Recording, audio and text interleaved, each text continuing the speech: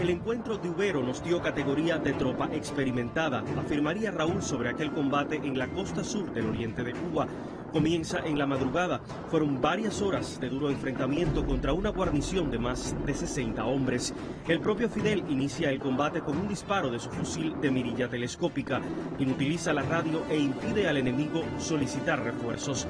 Almeida resultó herido de gravedad y logró sobrevivir de manera milagrosa al chocar una bala con una cuchara que llevaba en el bolsillo de su camisa. A special report by CBS News.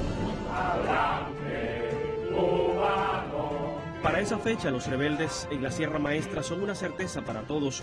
Un documental cinematográfico de CBS ha puesto fin a las largas semanas de dudas y rumores. Sin embargo, las fuerzas batistianas intentan sembrar la idea de una guerra civil innecesaria, liderada por el joven Castro en las montañas. Intentan ocultar los asesinatos y persecuciones, sobre todo en Santiago de Cuba, que vive con mayor intensidad que el resto de la isla los momentos de ansiedad e inquietud.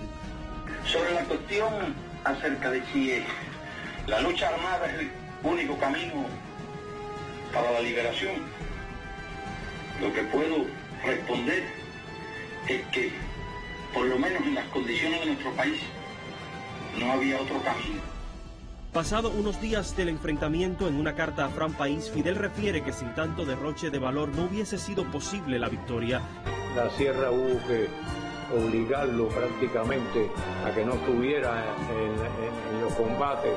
A Julito Díaz cuando en el combate de, de, Lubero eh, lo matan muy cerca de donde él está. El enfrentamiento marcaba, según el Che, la mayoría de edad del ejército rebelde.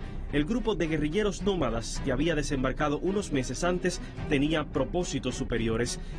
La guerrilla significa el empleo de los recursos del terreno y sobre todo el empleo de los recursos sociales de un pueblo para superar las ventajas que el enemigo posee en recursos técnicos y en recursos de tipo económico.